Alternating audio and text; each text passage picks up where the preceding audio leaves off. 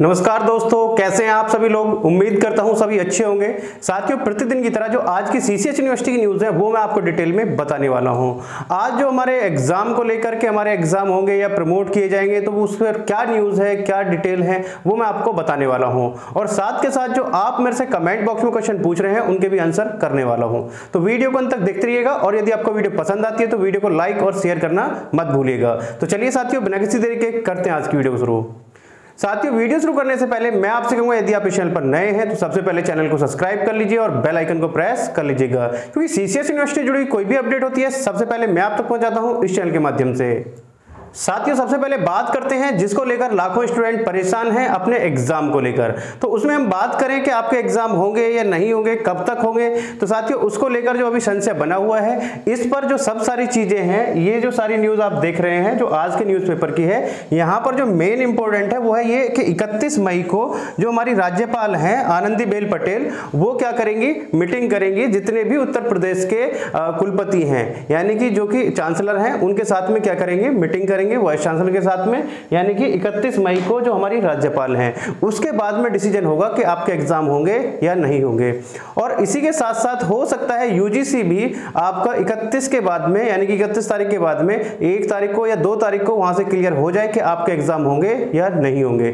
Chances यही है कि आपको प्रमोट किया जाएगा, कि 99 चांसेस यही है कि प्रमोट किया जाएगा, लेकिन हाँ एक परसेंट चांस ये भी है कि आपके एग्ज़ाम हो सकते हैं। यानी कि आपके जो एग्ज़ाम है वो हो सकते हैं। जैसे हम बात करें आईटीआई की तो आईटीआई में एग्ज़ाम कराए जा रहे हैं। आईटीआई के लिए डिक्लेयर कर दिया गया है कि आईटीआई के प्रथम वर्ष और सेकंड ईयर के जो एग्ज़ाम है वो कराए जाएँगे। यानी कि उसमें फ़र्स्ट ईयर के भी और सेकंड ईयर के एग्ज़ाम हो रहे हैं। अब यहाँ पर बच्चे काफ़ी सारे क्वेश्चन मेरे से पूछ रहे हैं निरंतर कमेंट बॉक्स में कि, सर, हमारा बीबीए का फोर्थ सेमेस्टर है, हमारा बीसीए का फोर्थ सेमेस्टर है, हमारा बीसीए का सेकेंड सेमेस्टर है, हमारा एलएलबी का सेकेंड सेमेस्टर है, क्या हम प्रमोट होंगे या हमारे एग्ज़ाम होंगे? देखिए, कोई भी कोर्स है। मैं आपको बिल्कुल स्पष्ट बता चुका हूँ कोई भी कोर्स है, उसमें चाहे वो आपका सेकेंड ईयर है, या आपके फ़र्स्ट ईयर का है, या आपका सेकेंड सेमेस्टर है फोर्थ सेमेस्टर है तो उसमें कोई भी है। यदि प्रमोट किए जाएँगे, अब सेकेंड जैसे फ़र्स्ट ईयर सेकेंड ईयर को प्रमोट किया जाएगा तो उसके अंतर्गत जितने भी सेमेस्टर आते हैं तो उन सभी को प्रमोट किया जाएगा।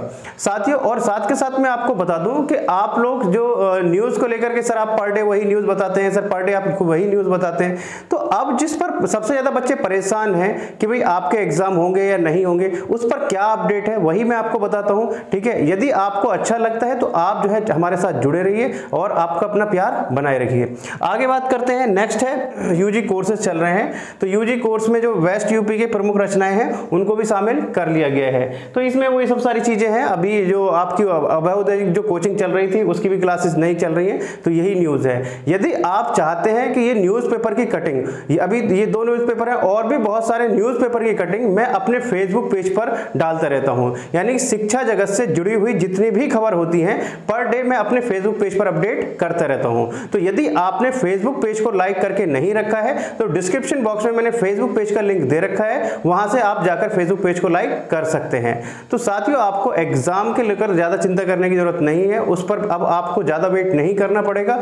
एक से दो दिन में चीज़ें क्लियर हो जाएँगी। यानी कि इकतीस तारीख में आपका मीटिंग है, यानी कि ऑनलाइन मीटिंग है, जो सभी कुलपतियों के साथ में, जो हमारी राज्यपाल है आनंदीबेन पटेल जी। उसके बाद में आपका हो सकता है एक तारीख या दो तारीख में आपका डिसीज़न आ जाए। यानी कि नेक्स्ट वीक में आपका डिसीज़न 100% आ जाएगा आपके एग्ज़ाम को लेकर। अब जैसे ही डिसीज़न आएगा तो उसके लिए भी मैं वीडियो अपलोड करूँगा इसी चैनल पर। यानी कि जो भी अपडेट होगी। तो साथियों, ऑलमोस्ट मैंने सब सारी चीज़ें जो आपके एग्ज़ाम को लेकर वो क्लियर कर दी है।